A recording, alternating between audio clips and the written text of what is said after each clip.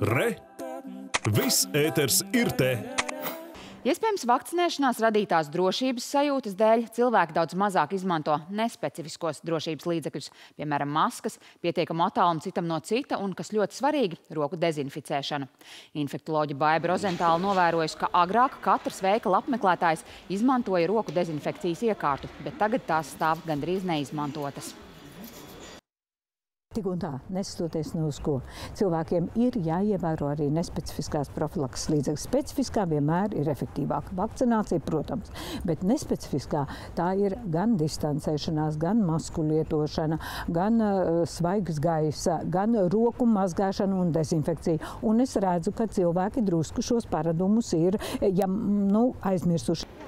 Rogu dezinfekcijas iekārtas ir izvietotas gan veikalos, gan ārstniecības iestādēs, un daudz viet dezinfekcijas šķidrumu iekārta rokām uzpūš automātiski. Tai nav pat jāpieskaras.